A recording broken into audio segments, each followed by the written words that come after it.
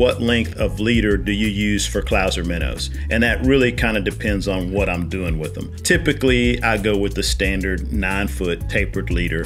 If I was wanting to get the fly down deeper, you know, a weighted Clouser, and I didn't want to go with a sinking or sink tip line, I would extend that leader out, maybe put three or four feet of tippet on the end of my nine foot leader with that weighted Clouser that'll allow the fly to sink deeper.